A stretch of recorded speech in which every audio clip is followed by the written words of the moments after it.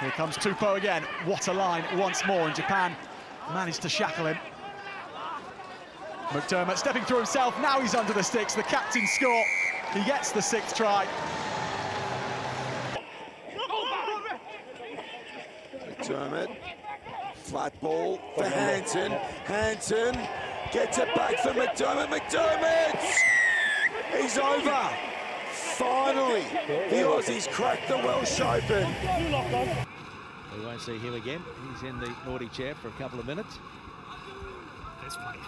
And McDermott showing and going. Is this going to be a magical moment for the youngster on debut? They can't get a hand on him. And so it is Tate McDermott who goes all the way. And congratulations to him. He has a try on the World Series.